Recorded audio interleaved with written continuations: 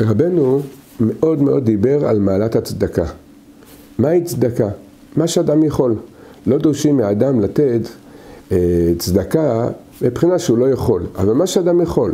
ועל זה אמרו חכמינו זיכרונם לברכה, אחד המרבה, אחד הממית, ובלבד שיכוון ליבו של לאבינו שבשמיים. לפעמים אדם יכול לתת שקל, לפעמים אדם יכול לתת עשר שקל, לפעמים יכולים לתת יותר. כל אחד לפי יכולתו ובחינתו. אבל כמה חשובה וכמה גדולה מעלת הצדקה, אומר רבנו, על ידי הצדקה נמשך רוח אמונה בתוך ליבו של האדם.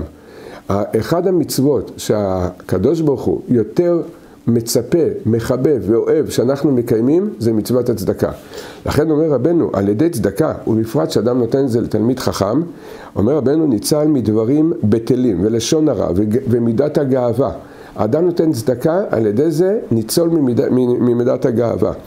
ולא רק זה, אומר רבנו, אחד הסגולות הגדולות ביותר, הכוחות הפועלים בעוצמה הכי גדולה להינצל מעניות זה על ידי שאדם נותן צדקה. אדם שמתמיד בימי חייו להשתדל כל יום לתת צדקה, וכמו שאמרנו, מעט או הרבה, כמה שאדם יכול, אבל אדם מקבל על עצמו, תמיד אני אעסוק במצוות הצדקה, על ידי זה רבנו אומר, ניצל מעניות. ולא יהיה חסר לו במשך כל ימי חייו שום דבר מה שהוא צריך, מה שהוא צריך לו ולמשפחתו וכדומה.